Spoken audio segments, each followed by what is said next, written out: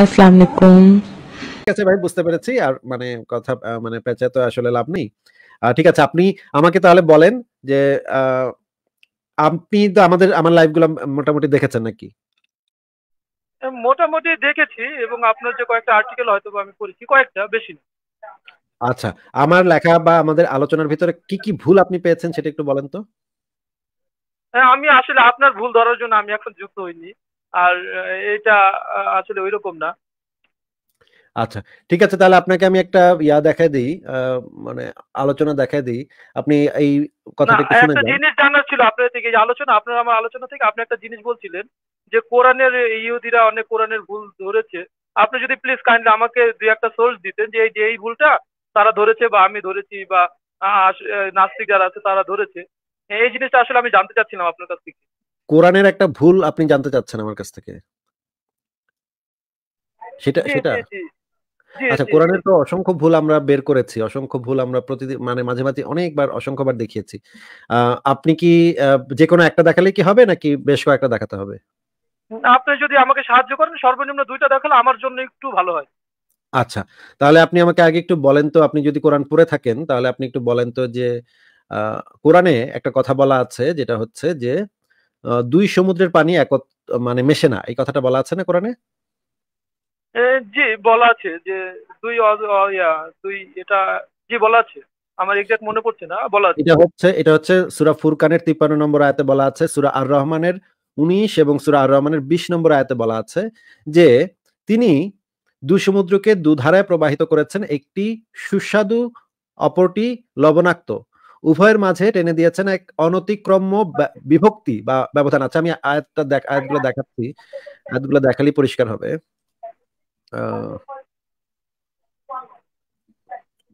একটু অপেক্ষা করেন, আমি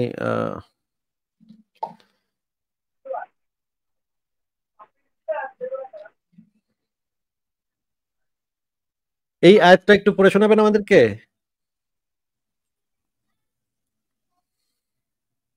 আসলে আপনি যদি এই আপনারটা নাকি একটু ইয়াটা কত ইয়াটা দিতেন আর্টিকেলটা এটা আলবায়ন ফাউন্ডেশনের অনুবাদ এটা আলবায়ন ফাউন্ডেশনের অনুবাদ সবচেয়ে ভালো অনুবাদ তাদেরই।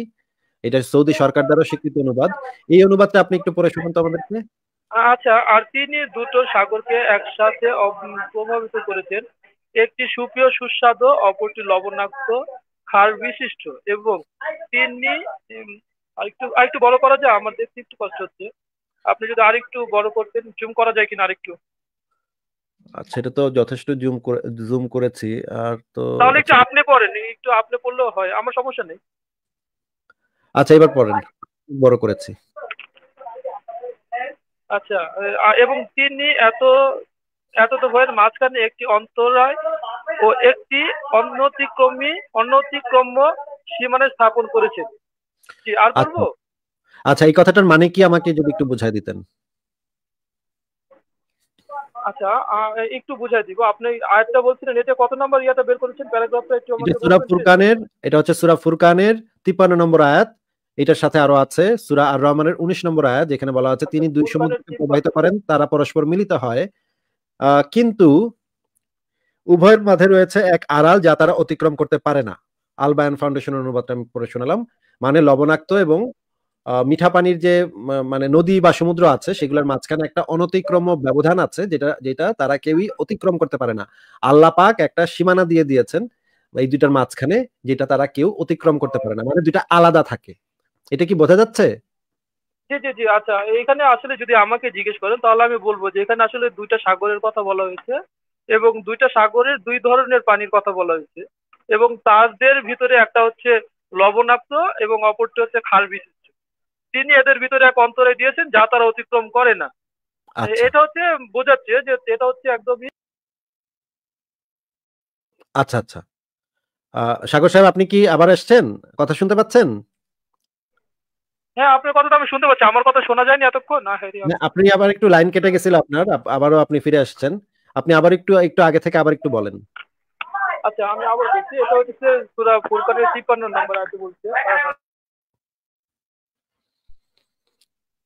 কথা mute হয়ে আচ্ছা গেছিল হ্যাঁ আচ্ছা বলেন হ্যাঁ বলেন শোনা যাচ্ছে শোনা হ্যাঁ আচ্ছা এখানে? বলছে যে এখানে দুইটা সাগরের কথা বলা হচ্ছে এবং দুইটা সাগরের পানি দুই ধরনের কথা বলা হচ্ছে। একটা হচ্ছে লবণাক্ত আর একটা হচ্ছে খাওয়ার বিশিষ্ট।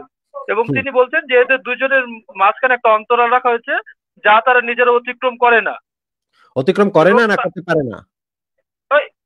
একটি অতিক্রম সীমাবদ্ধ স্থাপন করেছে। অনতিক্রম্য কথাটার মানে কি? তারা কেউ নিজে তারা কেউ এটাকে অতিক্রম করে না। অনতিক্রম্য মানে এটাদেরকে আলাদা করে রাখা হয়েছে। অতিক্রম করতে পারে না। আলাদা করে রাখা হয়েছে জি আলাদা করে হ্যাঁ। রাখা হয়েছে। তারা অতিক্রম করতে পারে না তাই না? হ্যাঁ আচ্ছা ঠিক আছে এই আয়াতগুলোর অর্থ আমরা তাফসির গ্রন্থ থেকেও দেখে নিই একটু। তাফসির গ্রন্থে কি বলা আছে আমরা সেটা একটু দেখি। যে এখানে যে জিনিসটা বলা হয়েছে সেটা এত বড় করে ফেলছি যেটার কারণে এগুলা এত ছোট হয়ে গেছে।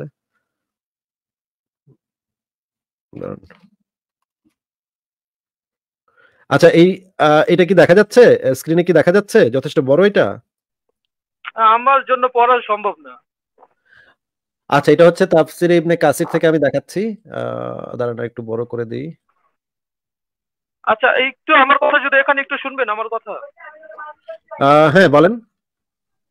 এখানে তাফসিরটা কেন প্রয়োজন এটা যদি আমাকে একটু বলতেন। ক্লিয়ার হওয়ার জন্য যে এই আমরা যে জিনিসটা বুঝছি সেটাই আসলেই সেটার অর্থ কিনা কারণ হচ্ছে আচ্ছা নবী মোহাম্মদ তো নবী মোহাম্মদ তো যখন আয়াতগুলো নাজিল হয়েছে তখন তিনি তার সাহাবিদেরকে এই আয়াতগুলোর অর্থ ব্যাখ্যা বিশ্লেষণ করে দিয়েছেন তাই না? নাকি ভাই? আচ্ছা এই বিষয়ে কিছু এই বিষয়ে বলতে চাচ্ছেন আপনি তাফসিরটা আমাকে একটু দেখান। না আমি আপনাকে যেটা বলছি সেটা একটু আপনি মানে ইয়া করেন আমার সাথে আহ, বলেন যে নবী মোহাম্মদের কাছে যখন এই আয়াতগুলো নাজিল হয়েছে তখন নবী মোহাম্মদ তো তার সাহাবিদেরকে এই আয়াতের অর্থ আহ, কি? আসলে কি? সেটা তো ব্যাখ্যা করে দিয়েছেন তাই না? প্রত্যেকটা আয়াতেরই তো ব্যাখ্যা বিশ্লেষণ করেছেন। আমি এটা আমি এটা জানতে পারি যখন যে জিজ্ঞেস করেছে তখন তাকে ওটা বুঝিয়ে দেওয়া হয়েছে এবং আয়াতের ব্যাখ্যা করে দেওয়া হয়েছে। নবী মোহাম্মদের কাজই তো ছিল নবী মোহাম্মদের কাজই তো ছিল আয়াতগুলাকে ব্যাখ্যা করে দেয়া। নাহলে আল্লাহ পাক কেন। হুদাহুদি আহ, নবী পাঠাইতে যাবে যে তেইশ বছর ধরে ধীরে ধীরে ধীরে ধীরে সেই আয়াতগুলা মানে বলবে। একবারে আল্লাহ পাক তো একটা বই পাঠাই দিলেই পারতো উপর থেকে ঠাস করে একটা বই পড়তো বইটা আমরা পড়ে ফেলতাম তাই না? না ঠিক আছে আপনি এর জন্য বললাম যে ঠিক আছে আচ্ছা দেখে একটা আপনার তাফসিরটা দেখি। তো তাফসিরে কি বলা আছে সেটা যদি আমরা না না দেখি তাহলে আমরা বুঝব কীভাবে যে নবী মোহাম্মদ যে তার সাহাবিদেরকে যে কথাগুলো বলে গেছে সেই কথার সাথে আমরা যেটা বুঝতেছি সেই কথাটা মিলতেছে কিনা? আমি আপনাকে বললাম না কোরআনের ভাষাই তো ভাষাটাই তো হচ্ছে অনেকটা ভাষা ভাষা কথা যেটার অর্থ পরিষ্কারভাবে বোঝা যায় না যে এটার যে কোনো অর্থ যে কোনো মানুষ যে কোনো অর্থ তৈরি করে ফেলতে পারে। নদীরে বানাতে পারে সাগর সাগরে বানাতে পারে মানে ডোবা ডোবারে বানাতে পারে পুষ্কুনি যা ইচ্ছা মানুষ বানাতে পারে। কিন্তু নবী মোহাম্মদ স্পেসিফিকলি কি বলে গেছে সেটা তো তার সাহাবিদের থেকে জানা যাবে তাই না? তো সাহাবিরা কি বলেছে? এই জন্য তো সাহাবিদের বক্তব্য এখানে জরুরি যে সাহাবিরা কি বলেছে এবং তাদের সাহাবিরা কি বলেছে সেই জিনিসগুলো ভালোভাবে তো লেখা থাকে ক্লাসিক্যাল তাফসিরগুলার ভিতরে তাই না?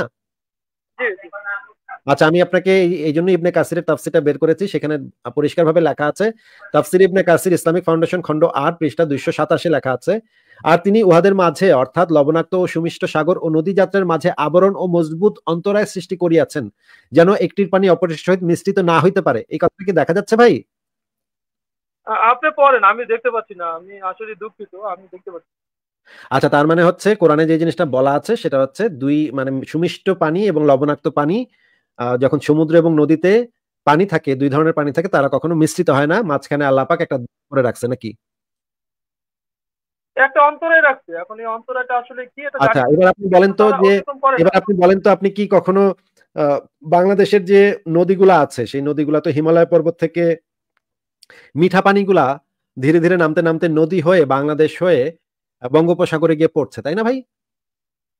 বিষয়টা আসলে এরকমই তো। সাগরে তারা মিলিত হবে আচ্ছা। আপনার কোরআনে বলা আছে যে মিঠা পানি এবং লবণাক্ত পানি তো মিশ্রিত হয় না। তার মানে দুইটার মাঝখানে একটা অন্তরাল সবসময় থাকে, একটা দেয়াল সবসময় থাকে, যেটা তাফসিরও বলা আছে, কোরআনেও বলা আছে। আমরা পরিষ্কার হয়ে গেছি সেই বিষয়টা সম্পর্কে। যদি এরকম হয়ে থাকে, তাহলে গত কয়েক হাজার বছরে যে পানিগুলা, যে মিঠা পানিগুলা আসতেছে উপর থেকে, হিমালয় পর্বত থেকে আসতেছে যে প্রবাহিত নদীর পানিগুলা, সেই মিঠা পানিগুলা তো এতদিনে বঙ্গোপসাগরে জমা হওয়ার কথা, তাই না? যেহেতু তারা মিশ্রিত হয় না লবণাক্ত পানির সাথে। না না এইটা মনে হচ্ছে যেভাবে আপনি বলছেন আয়তে মনে হচ্ছে এইভাবে বুঝেছি না এটা একটা বিষয়। আচ্ছা আমি আপনাকে বাংলাদেশে উল্লেখ করে দেওয়া হয়েছিল। এখানে উল্লেখ করে দেওয়া হয়েছিল এটা দুই সাগরের কথা বলা হয়েছে। এটা। উল্লেখ আছে দুই সাগর। কোরআনে পরিষ্কারভাবে বলা ছিল কোরআনে পরিষ্কার ভাবে বলা ছিল সুমিষ্ট মিঠা পানি এবং লবণাক্ত পানি। আপনাকে আমি ভাই দুঃখিত আমি আমি একটু শেষ করি তা হচ্ছে এখানে শুরুটা করেছিল দুই সাগরকে দিয়ে। দুই সাগর দুই সাগর দুই ভাই সাগর তো কখনো সাগরের পানি তো কখনো মিঠা পানি হয় না। তাহলে তো এটা তো আরেকটা ভুল। সাগরের পানি তো কখনো মিঠা হয় না। সাগরের পানি কখনো মিঠা হয়? এটা আসলে ওই পরিবেশগত কারণে এটা আসলে হয়। না পরিবেশগত কারণে কখনো কোনো মিঠা সাগর হয় না। মিঠা সাগর কীভাবে হয়? সাগরের পানি মিঠা কীভাবে হবে? আপনি কি মানে মাথা ঠিক আছে আপনার? মাথা টাথা ঠিক আছে আপনার? আমি হয়তো বা আমার ঠিক আছে কিনা আমি নিজে বুঝতে পারছি না বলে আপনার কথাতে এরকম মনে হচ্ছে। ভাই আমি তো আপনার কথা মানে আপনার কথার আগামাথা কিছু বুঝতে পারছি না। সাগরের পানি কীভাবে মিঠা হতে পারে? এখানে বলা আছে তিনি দুটি সাগরকে একসাথে প্রবাহিত করেছেন। একটি সুপেয় সুস্বাদু অপরটি লবণাক্ত খার বিশিষ্ট। আপনি বলছেন যে এটা হচ্ছে নদীর কথা বলা হয়নি এটাই তো আপনি বলতে চাচ্ছেন তাই না? এখানে না আমি বলতে চাচ্ছি এখানে উল্লেখ করা হয়েছে দুইটা জায়গার কথা এবং দুইটা সাগরের কথা। একটা সাগরের পানি খারযুক্ত এবং একটা লবণাক্ত। না একটা ক্ষারযুক্ত একটা লবণাক্ত এটা বলা হয় নাই তো। এখানে বলা হয়েছে একটি সুপেয় সুস্বাদু অপরটি লবণাক্ত দুঃখিত দুঃখিত। একটা হচ্ছে সুস্বাদু আর একটা হচ্ছে ক্ষারযুক্ত লবণাক্ত। জি দুঃখিত। আমি এখানে একটাকে দুইটা বলেছি? দুঃখিত। তাহলে মানে সাগরের পানি সুপেয় সুস্বাদু কীভাবে হয়? কোন সাগর আছে পৃথিবীতে যে সাগরের পানি সুস্বাদু সুপেয় সুস্বাদু?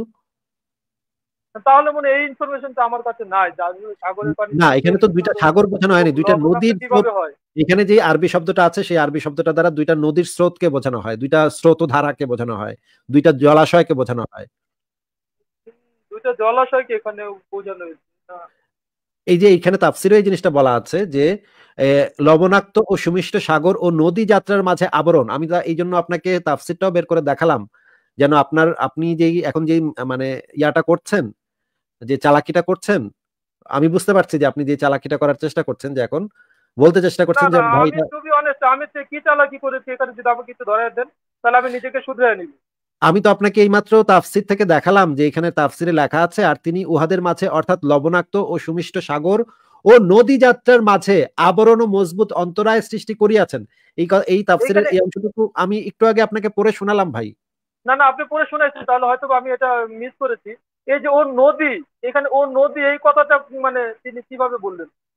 এই কথাটা বলেছেন এই কথাটা বলেছেন এই যে শব্দটা এখানে যে আরবি শব্দটা আছে সেই শব্দটাকে অ্যানালাইসিস করে উনি আরবি ভাষার উপর পণ্ডিত দেখেই উনি অ্যানালাইসিস করে এই জিনিসটা বলেছেন যে এখানে যে জিনিসটা বোঝানো হয়েছে দুইটা বড় বড় জলাধার বা জলাশয় সেইটার কথা এখানে বোঝানো হয়েছে সেটা হচ্ছে একটা হচ্ছে সুমিষ্ট একটা হচ্ছে সাগর আর নদী যাত্রা লবণাক্ত ও সুমিষ্ট। লবণাক্ত এবং সুমিষ্ট এই দুইটা শুধুমাত্র হতে পারে। একটা হচ্ছে সাগর হচ্ছে লবণাক্ত আর সুমিষ্ট হচ্ছে নদী যাত্রা। আচ্ছা, এটা তো আচ্ছা, ভাই সিম্পল আচ্ছা। ব্যাপার এটা যে কোনো মানে এটা যে কোনো স্কুলের ছাত্র বুঝবে যে এখানে দুইটা যে নদী দুইটা যে সমুদ্রের কথা বলা হয়েছে এখানে বোঝানো হয়েছে যে একটা হচ্ছে সমুদ্র একটা হচ্ছে নদী। কারণ এই আয়াতে স্পেসিফিকলি বলে দেওয়া হয়েছে একটা হচ্ছে লবণাক্ত একটা হচ্ছে সুমিষ্ট। এই দুইটা তো হতে পারে শুধুমাত্র। একটা সমুদ্র একটা নদী হলেই তো এটা হতে পারে। আচ্ছা আপনি কি আমাকে একটু সাহায্য করবেন? একটা ইনফরমেশন দিয়ে যে সমুদ্রের পানি লবণাক্ত কেন হয়? সমুদ্রের পানি লবণাক্ত হয়? সেটা একটা আরেকটা বিরাট আলোচনা। সেটা প্রধানত হয় পাহাড়ের ভেতরে যে জমা হওয়া লবণ থাকে সেই লবণটা পাহাড়ের ভেতরে যে লবণগুলা থাকে সেই লবণগুলা পানির সাথে মিশ্রিত হয়। প্রতিনিয়তই মিশ্রিত হয়।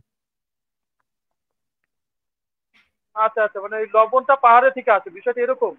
হ্যাঁ লবণটা পাহাড় থেকে আসে। মূলত পাহাড় থেকে আসে। হ্যাঁ বলেন। না আসলে আমার এই জ্ঞানটা আসলে নাই তো। আমি জ্ঞানটা নিয়ে আমি আর আগে ভাবিনি। আচ্ছা। কারণ হয়তো এখন আপনার সাথে আমি এই বিষয়ে কথা বলতে পারছি না। ঠিক আছে সেটা সেটা অন্য বিষয় সেটা অন্য বিষয় সেটা অন্য বিষয়। এখানে যে জিনিসটা বলা হয়েছে যে সমুদ্রের পানি এবং নদীর পানি কখনো মিশ্রিত হয় না। এই কথাটা এখানে বলা হয়েছে। এটা তাফসির থেকেও পরিষ্কার তাই না? জি জি। মানে এটা আসলে এখানে ওই যে তাফসিরের নদীর কথাটা বলছে এখন এই শব্দ দ্বারা আসলে নদী বোঝায় কিনা এটা আমি আসলে জানি না। তাফসির করেছে অবশ্যই এটা আপনি হয়তো মানলে মানতে পারেন। এটা আমার জন্য একটু মানে রিসার্চ মূলক একটা বিষয়। আচ্ছা, এখানে দেখেন এখানে দেখেন আমি আরও দেখাচ্ছি দেখেন ইবনে আব্বাস ওনার নাম তো শুনেছেন আপনি নিশ্চয়ই ইবনে আব্বাস কে আপনি জানেন নাম শুনেছি নাম শুনেছি উনি কে বলেন? উনি কে বলেন? উনি কে বলেন? ওনার ইবনে আব্বাস। হ্যাঁ। এটা হচ্ছে ওনার আত্মীয় ইয়া ওনার সাহাবিদের ভিতরে একজন কিন্তু আমার এক্স্যাক্টলি ওটা মনে নেই আমাকে ক্ষমা আচ্ছা। ইবনে আব্বাস ওনার মানে আত্মীয় হ্যাঁ ওনার আচ্ছা, ঠিক আছে বলেন। আচ্ছা আমি আপনাকে এই এই ইয়াটাই বড় করে দেখাচ্ছি হ্যাঁ। দেখতে পাচ্ছি আহ, আর একটু বড় করে দেখানোর চেষ্টা করছি আমি আপনাকে। দেখেন দেখতে পান কিনা এবার। এইবার কি দেখা যাচ্ছে? এবার কি দেখা যাচ্ছে? হ্যাঁ আচ্ছা উপরে কি লেখা আছে? তাফসির ইবনে কাসির লেখা আছে তাই না? ইবনে কাসির তো আরবি ভাষার উপরে একজন অত্যন্ত বড় পণ্ডিত নাকি? হ্যাঁ আমরা এটা জানি আর। ওনার বই তো পৃথিবীর বিভিন্ন বিশ্ববিদ্যালয় ইসলামী বিশ্ববিদ্যালয়ে টেক্সট বুক তাই না? জি জি। আহ, আপনি তো নিশ্চয়ই ওনার কাছ ওনার থেকে ভালো আরবি বোঝেন বা জানেন এটা তো আমার মনে হচ্ছে না। আপনার কি মনে হয়? না না না আমি অবশ্যই ওনার থেকে ভালো জানি। না হয়তো আচ্ছা এই ইবনে আব্বাসের এখানে একটা বক্তব্য এখানে দেয়া আছে। এই কথাটা একটু পড়ে শোনান তো ভাই। এই যে ইয়া মার্ক করা জায়গাটুকু তাই তো? হ্যাঁ মার্ক করা জায়গাটুকু। ইবনে আব্বাস রাদিয়াল্লাহু তাআলা বললেন আয়াত আমি আজকে দেখতে পাচ্ছি না। আচ্ছা, অর্থাৎ প্রভাবিত করেছেন প্রভাবিত করেছেন আরবিটা দেখতে পাচ্ছি না কিন্তু ভাই ক্ষমা করবেন। আরবিটা পড়তে হবে না আপনি পড়ে যান। এর ব্যাখ্যায় ইবনে জায়েদ রাদিয়াল্লাহু তাআলা আনহু বলেন আল্লাহ তাআলা দুই দরিয়ার মধ্যে অন্তরাল সৃষ্টি করিয়া একটি সহিত আরেকটি মিলিত হওয়ার পথ বন্ধ করিয়া দিয়েছেন। আচ্ছা এবার আমি আপনাকে এই পৃষ্ঠাটার পরের পৃষ্ঠাটাতে চলে যাচ্ছি। এটা হচ্ছে পরের পৃষ্ঠা এবার পড়েন। দুই সমুদ্র দ্বারা উদ্দেশ্য হইল। এটা কি ওইটারই? মানে সূরা রহমানের হ্যাঁ আমি আগের পৃষ্ঠাটাতে আচ্ছা ঠিক আছে আগের পৃষ্ঠাটার পৃষ্ঠা নাম্বারটা দেখে নিই আবার। এটা পৃষ্ঠা নাম্বার কত ভাই? এটাতে পাঁচশো অষ্টআশি আমি দেখতে পাচ্ছি। আচ্ছা এবার দেখেন তো এখানে পৃষ্ঠা নাম্বার কত? পাঁচশো উননব্বই দেখাচ্ছে এখানে। তার মানে তো পরের পৃষ্ঠাটাই তো দেখাচ্ছে। পরের- পরের পৃষ্ঠাটাই তো আচ্ছা, দেখাচ্ছে না? না না না না আপনি ঠিক আছে। এখানে যে সুরা রহমান দেখলাম তো যার কারণে আমি এখানে একটু ইয়ে করছিলাম। আচ্ছা হ্যাঁ এখানে হচ্ছে দুই সমুদ্র দ্বারা উদ্দেশ্য হইল মিঠা পানির সমুদ্র ও লবণাক্ত পানির সমুদ্র। এই দুই সমুদ্র পাশাপাশি প্রবাহমান হওয়া সত্ত্বেও একটি লবণাক্ত পানি, অপরটি মিঠা পানির সহিত মিশিয়া বা মিঠা পানি লবণাক্ত পানির সহিত মিশিয়া একটি অপরটির স্বাদ নিবিষ্ট করিতে পারে না। দুইয়ের মধ্যে রহিয়াছে এমন একটি অন্তরাল যাহা কেহই অতিক্রম করিতে পারে না। প্রত্যেক অপর, প্রত্যেকেই আপন আপন সীমানায় প্রভাবিত। আচ্ছা আমি আপনাকে যথেষ্ট ভালোভাবে কোরআনের আয়াতটা দেখালাম এবং কোরআনের আয়াতের যে ব্যাখ্যা সাহাবিরা দিয়েছেন এবং ইবনে কাসির দিয়েছেন, প্রয়োজনে আমার কাছে আরও অনেকগুলো তাফসির আছে, সেগুলো আমি একটা একটা করে দেখাতে পারি। কিন্তু মূল বক্তব্য হচ্ছে, এই পুরা জিনিসের মূল বক্তব্য হচ্ছে যে, মিঠা পানির নদী বা মিঠা পানির যে সমুদ্র যেটাই হোক এবং লবণাক্ত পানির নদী বা লবণাক্ত পানির সমুদ্র যেটাই হোক, এই দুইটা কখনো মিশ্রিত হয় না। দুইয়ের মাঝখানে আল্লাপাক একটা দেয়াল তৈরি করে রেখেছেন। কোরআনের অর্থটা তো এটাই তাই না? কোরআনের আয়াতের অর্থটা তো এটাই নাকি? একটা অন্তরাল একটা অন্তরাল আছে যা তারা অতিক্রম করেন। আচ্ছা এবার আপনি বলেন যে মিঠা পানির নদী এবং লবণাক্ত পানির নদী এই পানিগুলা মিশ্রিত হয় নাকি হয় না? মিঠা পানির নদী এবং লবণাক্ত পানির নদী আসলে এই বিষয়ে আমার আবারও আবারও একটু কথা শুনে তারপরে কথা শুনে আবার উত্তর দেন। মিঠা পানির নদীর নদী এবং লবণাক্ত পানির সমুদ্র এই পানিগুলা মিশ্রিত হয় নাকি হয় না? হ্যাঁ, আসলে আমি এটা দেখি নাই কখনো। এটা আমার জ্ঞান নাই। মানে আপনি কখন আপনি এটা জানেনও না যে মিঠা পানি মানে লবণাক্ত পানি এবং মিঠা পানি মিশ্রিত হয় নাকি হয় না এটা আপনি আপনার জ্ঞান নাই।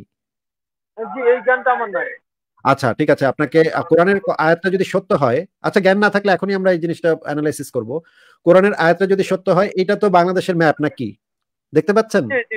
জি আমি দেখতে পাচ্ছি। এই উপর থেকে তো হাজার বছর ধরে মিঠা পানি তো এই যে এখানে এসে বঙ্গোপসাগরে এসে বঙ্গোপসাগরে এসে ঢুকতেছে নাকি? উপর থেকে নিচের দিকে আচ্ছা, নামতেছে তাই না? তো কয়েক হাজার বছর ধরে তো এই পানির স্রোত তো এখান থেকে এই যে পদ্মা নদী থেকে তো হাজার মেঘনা নদী থেকে তো হাজার হাজার টন পানি কিউবিক লিটার পানি এই পানিগুলা তো সমুদ্রে এসে ঢুকতেছে হাজার হাজার বছর ধরে নাকি। যদি লবণাক্ত পানি এবং মিঠা পানি যদি মিশ্রিত না হয় কোরআনের আয়াত অনুসারে, তাহলে তো এই পুরা অঞ্চলটা তে আর কোনো লবণাক্ত পানি থাকার কোনো কথাই না। কারণ এই পানিগুলা, মিঠা পানিগুলা এসে তো এই জায়গাটাকে ভরাট করে ফেলার কথা, লবণাক্ত পানিকে দূরে সরিয়ে দেওয়ার কথা, নাকি?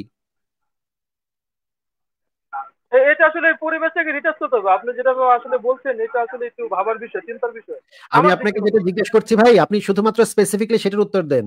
যে এখানে তো আমরা বঙ্গোপসাগরে তো লবণাক্ত পানি পাই। এখানে যে হাজার হ্যাঁ, বছর ধরে মিঠা পানিগুলো যে আসতেছে নামতেছে এই মিঠা পানি এবং উম, সমুদ্রের লবণাক্ত পানি যদি মিশ্রিত না হয় তাহলে তো লবণাক্ত পানির ধারাটা তো অনেক দূরে চলে যাওয়ার কথা। সেখানে মিঠা পানি জমা হয়ে যাওয়ার কথা। এই হাজার হাজার বছরে টনকে টন পানি উপর থেকে নামছে। এই পানিগুলা এই মিঠা পানিগুলা কই গেল তাহলে? তাহলে তো এই যুক্তিতে তাহলে তো ওই ওইটাও আছে। তাহলে তো ওইখানে লবণাক্ত পানি থাকারই কথা না। সব তো মিঠা পানি হয়ে যাওয়ার কথা।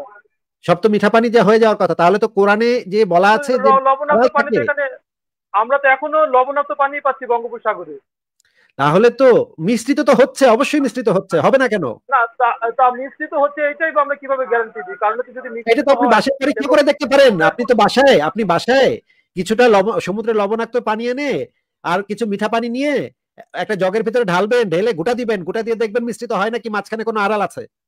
জি জি আপনাকে আমি এর জন্যই বলেছিলাম এটা হয়তো একটু চিন্তার বিষয় এটা আসলে দেখার না, বিষয় আপনার চিন্তার বিষয় না এটা তো এটা তো একদম পরিষ্কার প্রমাণ এটা তো একদম পরিষ্কার প্রমাণ যে কোরআনে ভুল কথা বলা আছে। না তাহলে তো আমার এই এই- যে আপনি যে যুক্তিটা দিলেন যে মিঠা পানি টনকে টন কিউবে কিউব মিটার পর কিউব মিটার এখানে আসছে তাহলে তো এখানে মিঠা পানি হয়ে যাওয়ার কথা এতদিন। সেটাই তো আমি বলছি। এটা আমি বলছি।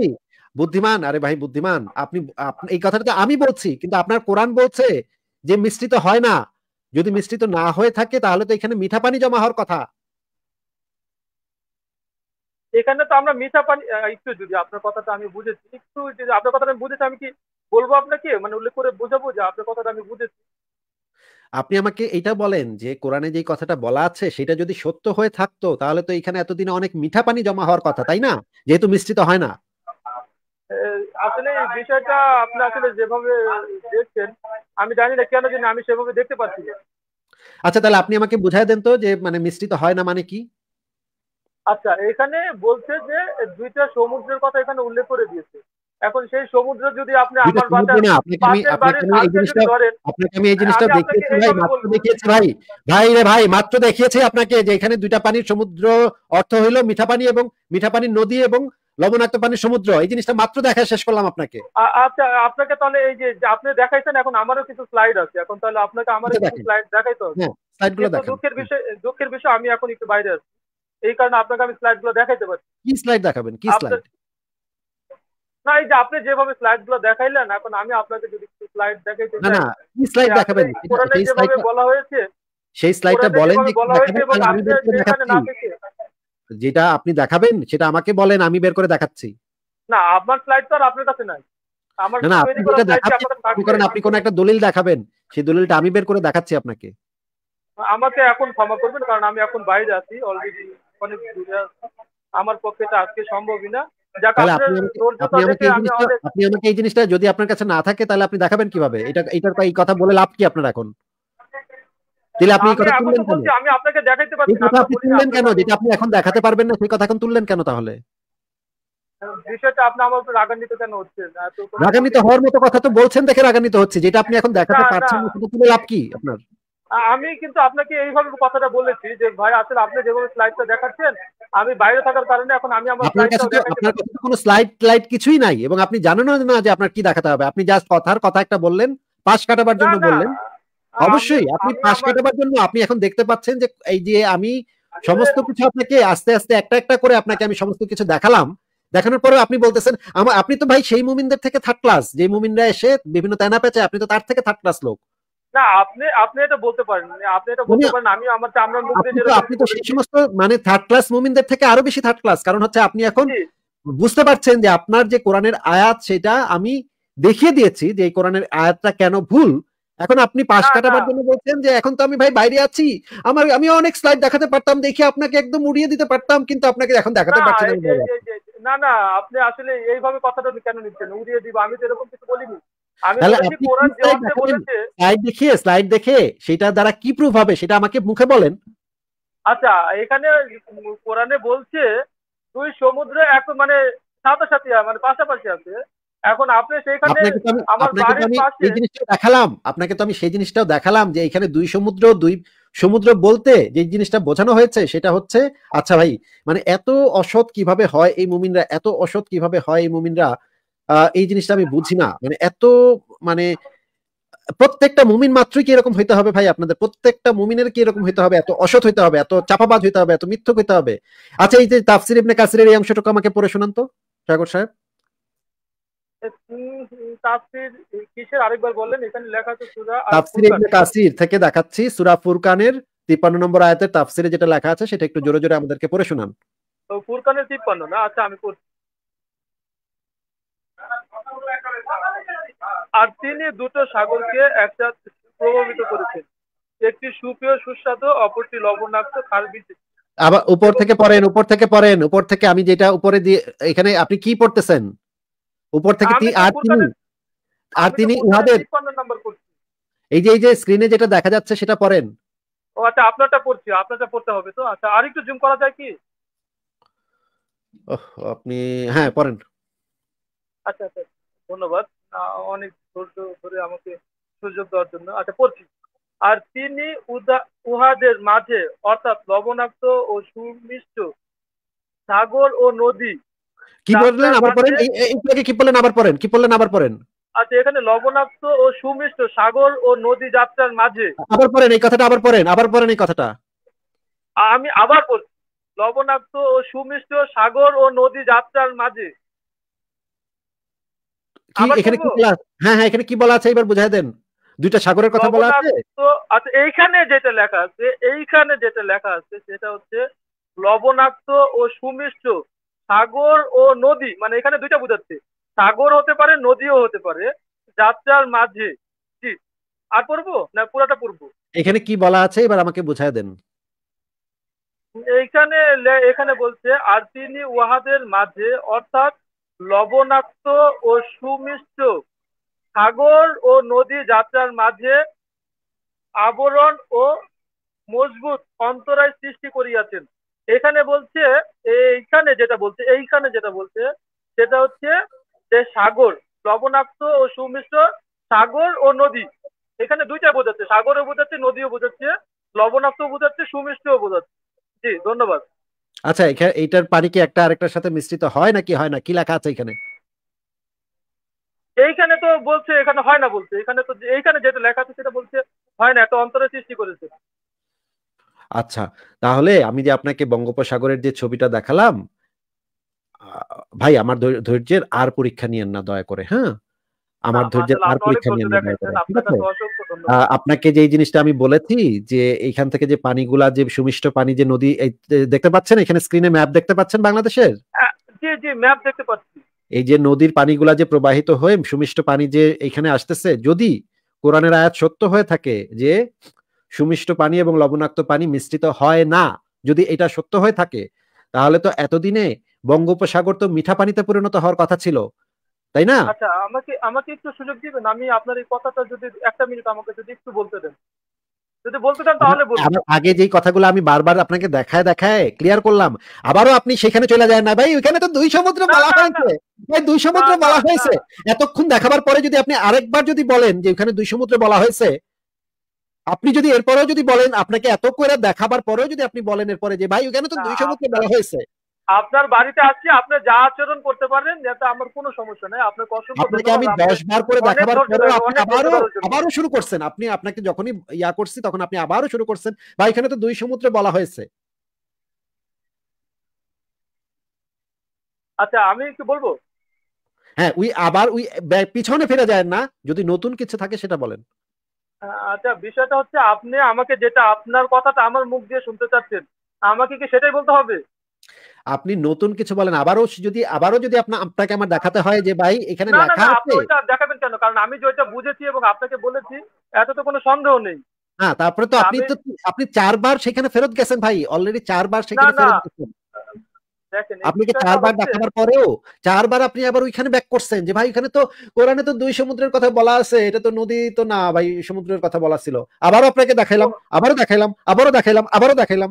এরপর আবারও আপনি সেখানে ফেরত যাচ্ছেন। আমাকে অত্যন্ত ক্ষমা করবেন আমাকে আসলে ক্ষমা করবেন। তা হচ্ছে যে ওইখানে যেটা লেখা আছে আমাকে তো সেটা বলতেই হবে তাই না? আপনি আপনি আচ্ছা একটু আমি শেষ করব আমি হয়তো শেষ করব ওই আয়াতের তাফসিরে তো এই জিনিসটা পরিষ্কার করে দেয়া আছে। মিঠা পানির তো কোনো সমুদ্র হয় না ভাই। ওইখানে যে শব্দটা আছে সেই শব্দটা দ্বারা যে জিনিসটা বোঝানো হয়েছে সেটা তো ওই আয়াতের তাফসিরে পরিষ্কার করে বলা হয়েছে। আচ্ছা আপনি তাফসিরের কথা বলছেন এবার আমি একটু আয়াতের কথা বলি যে আপনি আসলে যেটা বুঝছেন আমি আসলে ওটা বুঝছি কিনা। আপনি যদি এই আয়াত থেকে অন্য কিছু বুঝে থাকেন তাহলে আপনি কোথা থেকে সেই জিনিসটা বুঝেছেন? সেই আচ্ছা, আচ্ছা, আচ্ছা, তাফসিরের তাফসিরের নামটা বলেন তাহলে আমি সেই তাফসিরটা খুলছি। আপনার বুঝটা তো আমি বুঝতে চাই না ভাই। আমি বুঝতে চাই মানে কথাটা শুনে নেন কথাটা শুনে নেন। আপনার ব্যক্তিগত বুঝ আমি বুঝতে চাই না জানতেও চাই না। আপনি যদি সেই বুঝটা কোনো একটা প্রখ্যাত তাফসির গ্রন্থ থেকে পড়ে থাকেন তাহলে সেইটা আমাকে বলেন যে আমি তাবারির তাফসির এটা পড়েছি বা জালালাইনের তাফসির এটা পড়েছি তাহলে আমি সেই তাফসিরটা বের করে দেখি যে আপনার কথা সেখানে বলা আছে কিনা। আচ্ছা আপনার ব্যক্তিগত তাফসির তো আমি শুনতে চাই না ভাই। না ওকে ঠিক আছে অসংখ্য ধন্যবাদ। তাহলে এখানে আমি আর কিছু বলতে চাচ্ছি না। আমাকে সুযোগ দেওয়ার জন্য আপনাকে অসংখ্য ধন্যবাদ। ঠিক আছে ভাই ঠিক আছে ভালো থাকেন। মানে এতক্ষণ ধরে তাকে আমি দেখাইলাম, এতক্ষণ ধরে দেখাবার পরে সে এখন নিজস্ব তাফসির করবে এটার একটা, নিজস্ব তাফসির বানান বানাতে চাচ্ছেন উনি এখন। তাহলে এটা আগে শুরুতে বললেই হয়তো এতক্ষণ মুমিন মাত্রই যে এরকম হইতে হবে ভাই, মুমিন মাত্রই যে এত অসৎ এবং বাটপার হইতে হবে মানে একদমই বাটপারি করে গেল। এতক্ষণ ধরে আমার সময় নষ্ট করল এবং বাটপারি করে গেল শেষমেশ। দেখলেন আপনারা যে মানে সে এখন নিজস্ব তাফসির বানাতে চাচ্ছে মানে ইবনে কাসিরের তাফসির নেওয়া যাবে না তার তাফসির এখন শুনতে হবে। মানে সে তার তাফসিরটা সঠিক ইবনে কাসিরের তাফসিরটা ভুল। ওয়েল মানে আমার তো মেজাজটা প্রচণ্ড খারাপ লাগতেছে এখন। এতক্ষণ সময়টা নষ্ট করল আমার। ঠিক আছে আরেকজনকে যুক্ত করি। সাবরিনা সাবরিনা আপু আপনাকে যুক্ত করা হয়েছে। সাবরিনা আপু শুনতে পাচ্ছেন? হ্যাঁ আসি ভাইয়া শুনতে পাচ্ছি। কেমন আছেন আসি ভাইয়া? এই তো ভালো আছি কিন্তু মেজাজ মেজাজ তো পুরো গরম করে দিয়ে গেছে এই লোক। আমারও মেজাজটা গরম আছে আসি ভাইয়া ইচ্ছা করছে নিজের মাথার চুল একটা একটা করে ছিঁড়ি আর গুনি ওনার কথা শুনে। আচ্ছা সাবরিনা আপু আপনার এই লোককে আমি চারবার দেখাইনি যে এই যে নদী এবং সমুদ্র এটা চারবার দেখাইছি না?